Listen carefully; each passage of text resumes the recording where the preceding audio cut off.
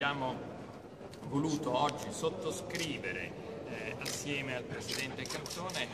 una, un documento dove sono indicate le linee guida eh, che abbiamo scelto nella città di Roma per verificare la correttezza e la trasparenza di tutti i lavori che verranno eseguiti eh, per il giubileo straordinario della misericordia voluto da Papa Francesco.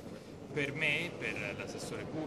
L'assessore Sabella è un altro passo importantissimo perché è quel passo di discontinuità amministrativa e anche di cultura amministrativa rispetto a quanto era accaduto nella città di Roma con la giunta Alemanno che aveva permesso l'ingresso eh, della criminalità organizzata nelle stanze del Capitolo. Noi abbiamo chiuso porte e portoni e vogliamo che d'ora in avanti l'amministrazione della nostra città sia un esempio per tutto